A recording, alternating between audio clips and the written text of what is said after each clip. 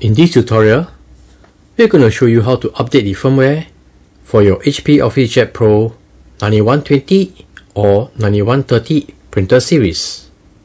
We will update the firmware via the printer control panel. So let's head over to the control panel. From the control panel, select menu. Scroll until you see tools.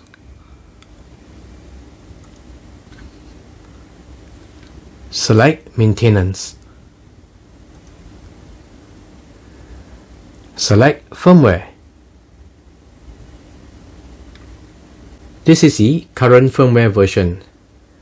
Let's do a check.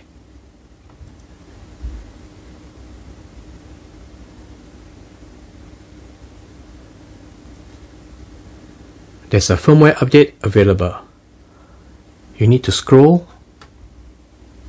and select Yes. Let's continue.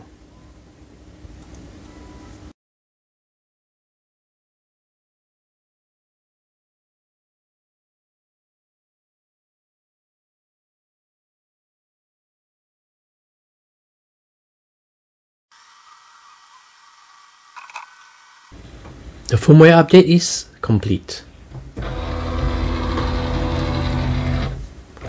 So this is how you update the firmware for your HP OfficeJet Pro 9120 or 9130 printer series.